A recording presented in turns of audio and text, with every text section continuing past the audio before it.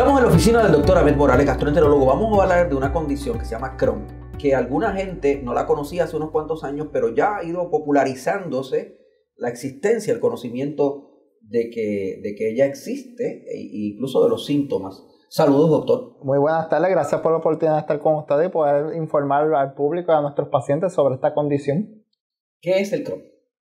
Esto es una condición que, fíjate, mira qué curioso porque si nos vamos, nos remontamos hace 20, 30 años atrás, quizá una condición que era extremadamente rara aquí en Puerto Rico y progresivamente hemos visto que la condición ha cogido más y es más prevalente, por decirlo así, y es una condición inflamatoria del intestino que puede abarcar cualquier parte del tracto gastrointestinal desde la boca hasta el ano y se cree que tiene un componente genético unido a una respuesta inflamatoria fuera de proporción a la respuesta inflamatoria y eso es lo que desencadena entonces los síntomas de la condición.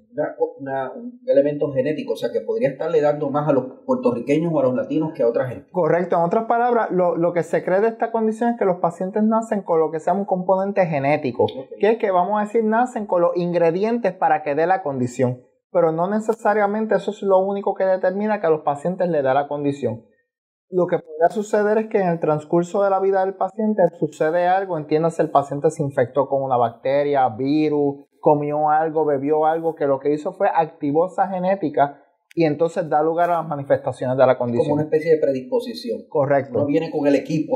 Correcto. Que se puede activar. Exactamente. Eh, ¿Cuáles son los síntomas?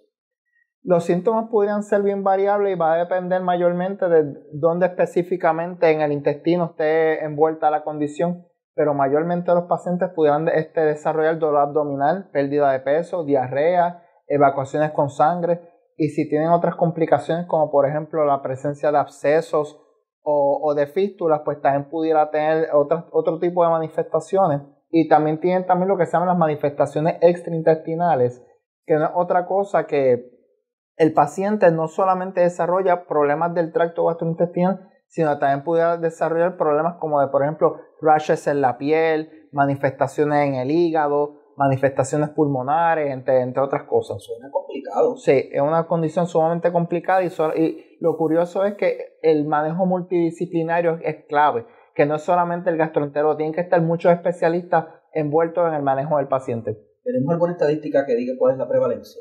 En Puerto Rico. Sí, eh, la doctora Estel Torres en San Juan, ella lleva unas estadísticas desde hace unos años atrás que tiene unos números quizá un poco más precisos, pero sí lo que yo te puedo adelantar aquí es que los números de esta condición han ido en aumento a través de los años. Si nos vamos a estadísticas de hace 30 años atrás, como dije inicialmente, quizás la, prevalencia no era tan grande, pero al pasar del tiempo eh, nos hemos estado dando cuenta que la, la condición ha ido cada vez más y más en aumento. Eso es lo que estamos comiendo. Presuntamente eso es una de las cosas que se, de las eh, teorías que se están investigando, que se cree que en efecto pueda tener que ver con algún componente de la dieta, porque curiosamente en los países subdesarrollados esta condición no es tan común versus los países desarrollados, que entonces uno ve más prevalencia de esto y por supuesto si uno hace la suma y la resta, lo que uno ve es que entonces los países desarrollados el componente de la dieta animal y de la grasa es mucho más grande que en los países subdesarrollados, que es más de vegetales, de frutos, entre otras cosas. No, y que comemos rápido y comemos lo que sea. Sí. Vamos a almorzar, tenemos poco tiempo y comemos rápido y lo que Sí, que se ha especulado que probablemente pudiera ser algún componente de la dieta, que es lo que este, enciende esta predisposición genética que estábamos hablando anteriormente. Se complica, ¿verdad? Entiendo que se complica, por lo tanto es bueno el diagnóstico temprano. Sí, eh, aquí la clave es que una vez se tenga la sospecha clínica que el paciente pudiera tener esto, la detección temprana y el tratamiento es crucial porque a medida que va pasando el tiempo, esta condición, eh, esta inflamación fuera de control da lugar a todas estas complicaciones que te estaba hablando, como la presencia de fístulas, abscesos o de estrechez en el intestino, que pudieran desembocar en, operaciones y entre otras complicaciones. Y por supuesto, este, esta condición es más común en personas jovencitas Entiéndase personas entre los 15 a los 30 años aproximadamente. O sea, te podrás imaginar lo devastador psicológicamente que es para una persona, por ejemplo, entre 20 21 años que ya tenga que estar sometido a varias operaciones, las cicatrices en la piel, el estigma, su imagen que tiene como persona de esa edad, pues es particularmente devastador. Y, eh, pero se, se, puede dar en adultos también. ¿Cuál es la diferencia entre la enfermedad entre un joven y un adulto? Sí, el pico grande de la condición es entre los 15 a los 30 años Eh, después de los 30 sí hay casos y yo he, tenido casos también, pero no es, no es la norma, es más la excepción. El pico grande está a edades que te dije y por supuesto en, pacientes pediátricos también pudiera darse el caso también, pero el pico grande de la condición son estas edades que te estoy diciendo, de los 15 a los 30 años. Es interesante, ¿verdad? Porque casi siempre a esa edad pues, el, que atiende eh, esto es un especialista pediátrico. Correcto. ¿Qué pasa cuando esa persona crece? Sí. ¿Sigue con el pediatra o, qué? Eso es un punto bien interesante que tan reciente como hace dos semanas atrás se discutió en una de las convenciones que nosotros hablamos y es el, el proceso de transicionar el paciente pediátrico al adulto.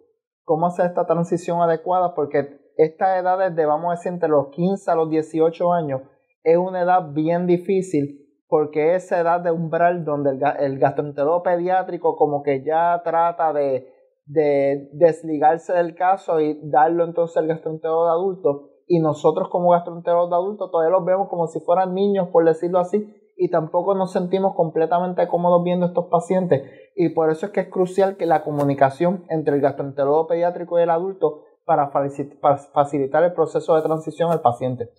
Eh, ¿qué debe saber un paciente de Crohn? ¿Qué preguntas tiene que hacer? O sea, para, para estar claro de lo, que, de lo que tiene y qué va a pasar. Pues usualmente mis pacientes me preguntan, usualmente muchos de ellos ya han leído sobre la condición, ya tienen una idea de qué va a pasar. Preguntas clave yo diría que cómo va a ser el manejo de su condición, los tratamientos para la condición, posible manejo de complicaciones, cuál va a ser la dieta que ellos, ellos pueden comer, el manejo de sus otras condiciones, por ejemplo, si tienen un componente de depresión, ansiedad, si necesitan ir al cirujano para manejo de fístula o, otras complicaciones de la condición que ameriten que necesiten ver al cirujano. Eso es el componente básico de las preguntas que debería hacer un paciente de Crohn.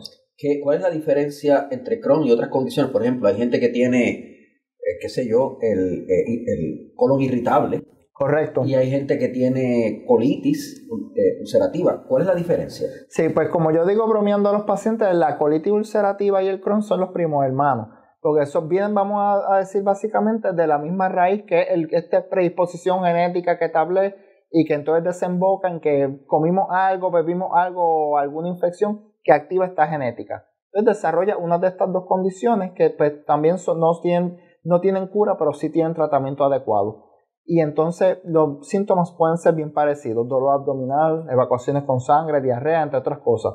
El síndrome de intestino irritable al que está aludiendo es interesante también porque aquí los síntomas pudieran ser parecidos, excepto que el sangrado no, no va a haber presencia de sangrado, no va, a haber, no va a haber pérdida de peso, no va a haber muchos de los otros síntomas que estos pacientes tienen, pero sí la diarrea y el dolor abdominal pudieran ser, eh, pudieran ser prevalentes. Y aquí el componente es buscar estos síntomas de alarma que yo estaba mencionando, que son por ejemplo el dolor abdominal, el sangrado, pérdida de peso, que eso nos desvía de un, de un diagnóstico de colon irritable hacia otros diagnósticos y entonces ahí por ahí nosotros partimos para la evaluación y detección temprana de condiciones. ¿Puede degenerar o puede ocasionar lesiones cancerosas?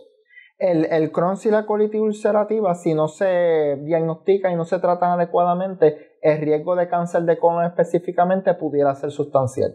Pero por supuesto, el paciente que se ha diagnosticado y tratado adecuadamente y que el colon logre lo que se llama la sanación histológica y la sanación endoscópica, que es que yo haga una colonoscopia y el paciente yo vea un colon que está completamente saludable, como un paciente pues que no tenga la condición, ya se ha estimado que estos pacientes el riesgo de cáncer de colon pudiera ser virtualmente muy similar al de cualquier otro paciente que no tenga la condición. Y ahí es que está la clave de por qué tenemos que tratar a estos pacientes adecuadamente. puede dar a uno cáncer de colon como quiera. Correcto.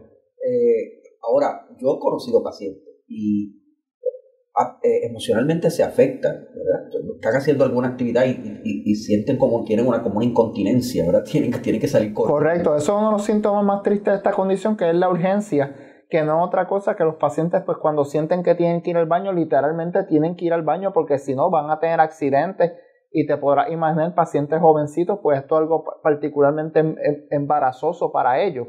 Y dicho sea de paso, que yo le he dicho en otras cápsulas anteriormente, yo soy paciente de colitis ulcerativa y, y quiero que los pacientes vean a mí un ejemplo de superación, que soy una persona completamente saludable, que no hago mis cosas, he llegado a donde yo estoy, fui diagnosticado cuando yo estaba en tercer año de escuela de medicina y miren donde yo estoy ahora y los, quiero que los pacientes vean que esto no es el fin del mundo con tratamiento adecuado, los pacientes pueden tener una vida completamente normal y hacer todas sus actividades completamente normales. Hay mucha gente que relaciona todas estas condiciones estomacales, intestinales, etcétera, etcétera, con el estrés. Dice, no, es que a mí me ataca, el estrés me ataca el estómago. ¿Cuál es la diferencia de tener estrés y que uno le, le duele la barriga y uno tiene una condición de esta? Muchos pacientes me preguntan sobre eso y lo curioso sobre esto es que, claro, uno, si, si ya tú tienes unos síntomas, el estrés te puede exacerbar unos síntomas ya existentes. Pero sería incorrecto yo decirle a un paciente, tú tienes enfermedad de Crohn porque tienes estrés. Eso es falso. Ahora, si ya tú tienes unos síntomas preexistentes y tienes estrés, pues es un componente agravante de la condición. Eso también hay que tratarlo porque eso va a minimizar tus síntomas también, por supuesto, aparte del tratamiento médico.